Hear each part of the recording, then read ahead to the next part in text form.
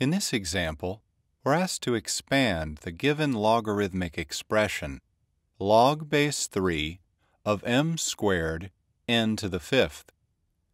Remember that our first law of logarithms states that if two values are multiplied together inside a logarithm, such as m squared times n to the fifth, then we can expand the logarithm into the sum of two separate logarithms.